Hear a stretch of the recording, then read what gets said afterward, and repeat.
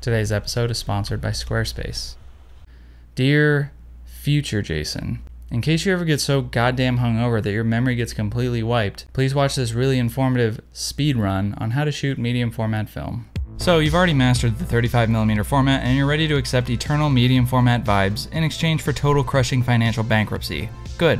We're on the same page. Take everything you know about 35mm and flush it down the turlet like a huge turd. Actually, wait. Keep some of the information, like the exposure triangle. That's still the same. Medium format film is different than 35mm film. For starters, it's often referred to as 120 film. You can call it 120mm film if you really want to, but you shouldn't because technically you're wrong and someone might punch you in the throat. Medium format is more expensive. There are less film stocks available and the lenses are generally slower. However, medium format film is quite a bit larger than 35mm. The rolls look like this. Because it's bigger, we get more image definition and the mythical medium format look. What is the medium format look? It's basically just high image quality paired with a thinner depth of field. Awesome, now you know one of the biggest secrets of the universe. 35mm film cameras produce pretty much the same image size across the board. However, with 120 film, we are introduced to several different formats, and guess what? You have to pick one. Choose wisely, whichever one you pick will determine what gang you get initiated in. Worry not though, I'll be your guide on this journey, which you may later come to regret, but it, let's do it anyway. For beginners, we'll just focus on three of the most popular formats for 120, in order of smallest to largest, 645, 6x6, and 6x7. But there's also 6x8, 6x9, 6x12, 6x17, and for some unholy reason, 6x24. Let's not worry about them for now. Let's start with probably the most popular format, 645. 645 refers to the 6cm by 4.5cm image and is by far the most economical format for 120 because it yields 16 shots per roll, which if you think that isn't actually that much, you might want to sit down for the rest of this video because it only gets worse. 645 is often referred to as the 35mm of 120, probably because it's the smallest format, and some people claim you don't see much of the medium format look with it. But maybe it's worth it to you to sacrifice a little bit of the look for more shots per roll. I mean, I don't know what your standards are, but we're not talking about large format today. You may notice that 645 lenses and medium format lenses in general are longer focal lengths than 35mm lenses. This is where the fun begins. For medium format, each focal length is actually informed by the format size. For example, an 80mm lens on 645 will not have the same viewing angle as an 80mm lens on 6x7. I know this concept is a bit to unravel, but don't worry, I'll try to help you figure this shit out, which actually should make you worry more. If you're accustomed to full frame or 35mm and would like to get a sense of what these medium format lenses translate to if they were scaled down to full frame 35, all you have to do is multiply the lens focal length by 0.62. For example, an 80mm lens on 645 is equivalent to roughly a 50mm field of view in terms of full frame 35mm. Here's some solid options to look into for 645 cameras depending on your budget. Next up in size, we have 6x6, in which the image is 6cm by 6 centimeters. Starting to see a trend here? 6x6 is a perfectly square format. Some people love this format, and you might too, for reasons I may never come to understand. With 6x6, your roll of 120 will actually yield 12 shots, and you won't ever have to turn the camera sideways for portrait orientation. Unfortunately, or fortunately, depending on how you look at it, all your shots will look like album covers. Because the format is larger overall, an 80mm lens on 6x6 is equivalent to a 44mm lens on full frame 35. Just multiply your focal length by 0.55 to get an idea of what you're working with. If you're considering 6x6, here's an array of cameras that shoot that format. Lastly, we have probably the most desired format, which also means the most expensive, 6x7. 6 centimeters by 7 centimeters is quite large. Your roll of 120 will yield 10 photos, or 9.5 if you have a cursed Pentax 6x7 camera like mine. I personally think 6x7 is where you see the medium format look shine, and that's why I halve four 6x7 cameras, instead of probably a house and a family that loves me. A quick way to understand what full frame or 35mm field of view equivalent you're working with on 6x7 is to just have the focal length of your lens. So for example, an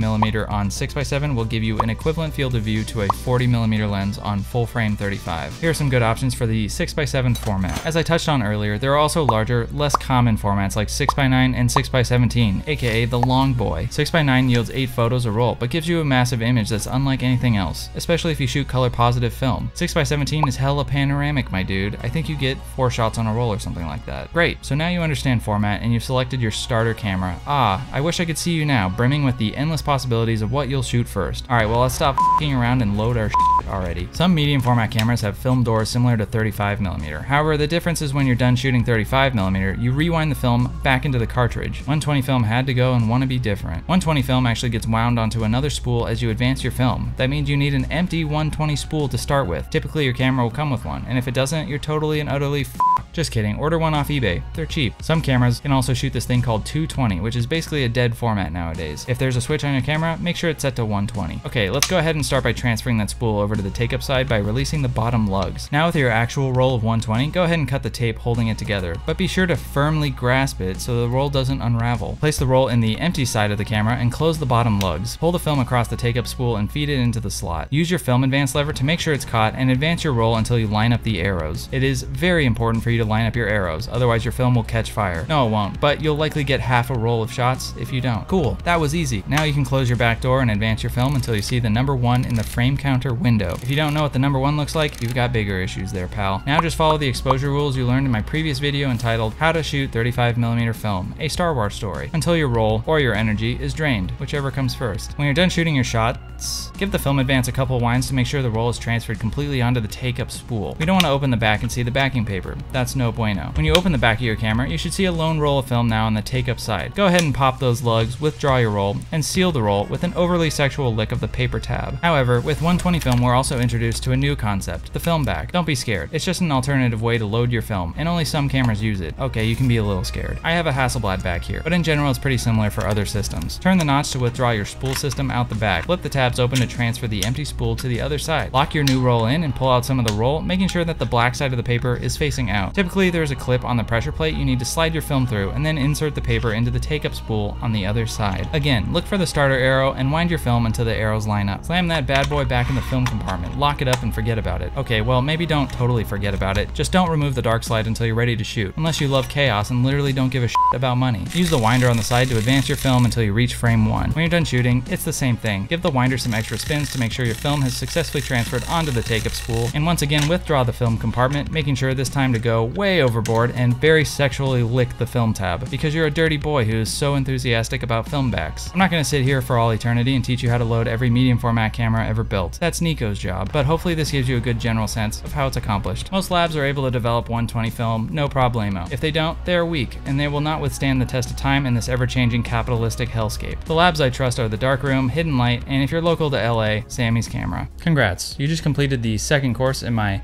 how to Spend All Your Money on Old Dwindling Technology series. Join me next time as we unravel the mysteries of large format and how that will surely cause you to default your bank account. But before we go, I'd like to quickly thank today's sponsor, Squarespace. Squarespace is an all-in-one website building platform, but that's not all it can do. If you're a creator, like me, looking to get your vision out into the world and build an audience, Squarespace makes that possible in any number of ways. A great way to connect with your audience is member areas on your website, which you can strategically use to create membership-only content and unlock an extra revenue stream. If you're a photographer like me and interested in selling your prints, Squarespace has the ability to help you open up shop and manage tasks like managing low inventory, as well as discount codes. You can even link up third-party print-on-demand services to your website to ease the work on the back end. Building an online photography portfolio and store has never been easier. I've been using Squarespace to host my own portfolio for a couple years now, and it's been incredibly easy to add new work or make room for old work at a moment's notice. So what are you waiting for? If you're ready to build a website, you can start a free trial today at squarespace.com slash grainydays. And if you use the code grainydays at checkout, you can get 10% off your first purchase.